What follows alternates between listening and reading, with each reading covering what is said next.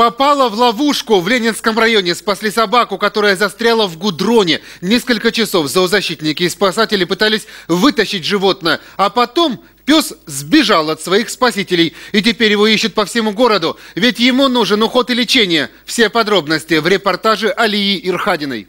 Собаки-то нет, я так понял. Так местные бродяги бегают. Вот. Сейчас тебе скину ему. На этих кадрах сотрудники МЧС вместе с волонтерами спасают жизнь собаки. Животное случайно угодило в разлитый гудрон на территории завода. Пес мог умереть, если бы его вовремя не вытащили и не оказали помощи. Даже после спасения отмыть собаку было непросто. Да, малышка. Процесс у нас с тобой идет. Еще сутки. И ты будешь вполне красавицей. От гудрона собаку отмывали около 8 часов, но все равно избавить пса от вещества до конца не вышло.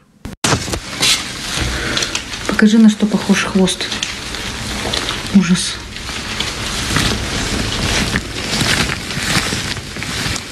Чуть позже вызвали ветеринара. Гудрон оказал негативное влияние как на организм собаки, так и на людей, которые ей помогали. У питомца зафиксировали ожоги. Видимо, гудрон был горячий. А потом началась интоксикация, и врач поставил собаке укол от судорог. Справа подумали, судороги какие-то, начинается интоксикация.